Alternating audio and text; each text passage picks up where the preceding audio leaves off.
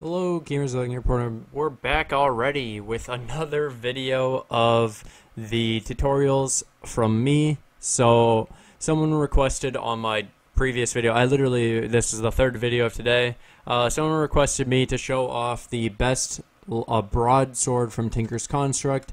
Now this is kind of irrelevant because we're going to most likely, in in any case, be using the Dracon Draconic Staff of Power with max upgrades. But hypothetically, let's look at the best sword. So there's only two options that I could think of for the sword. It's going to be a full magical wood broadsword and the uh, Draconium one, which the Draconium one will be a bit different. We would do an Awakened Draconium sword blade but then the rest of it would be of thaumium and paper. That that to get the maximum amount of modifiers out of these. So the first one is pretty simple. Uh, I made two magical tool rods because I'm stupid, I guess. Sure. Uh, let's try this again, but with magical wood. Thank you.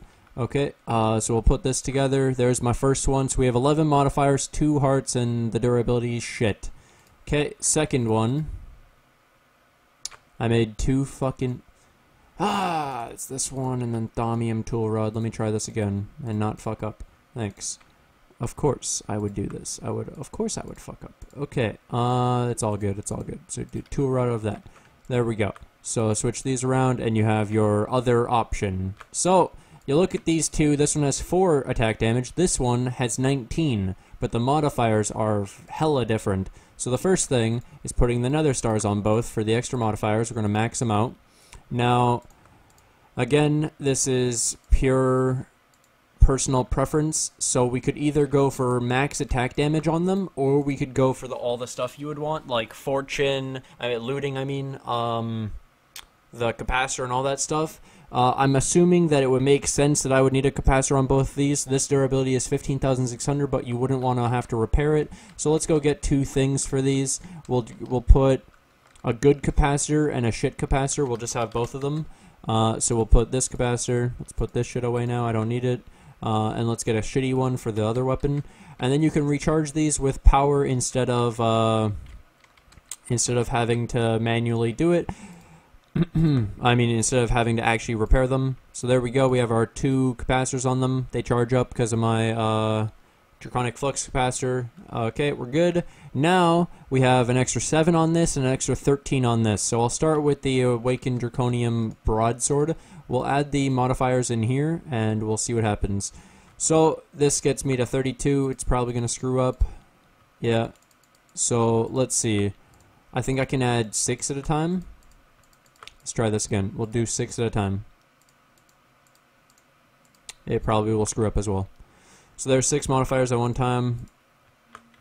It looks like it works, so we can keep adding six. So we'll just max it out with uh, with quartz and see how much damage this has, and then we'll compare it to the uh, magical broadsword and see which one is better. And these are your two options for uh, broadsword. So there's a fully maxed out Awakened Draconium Broadsword. It's 40 attack damage.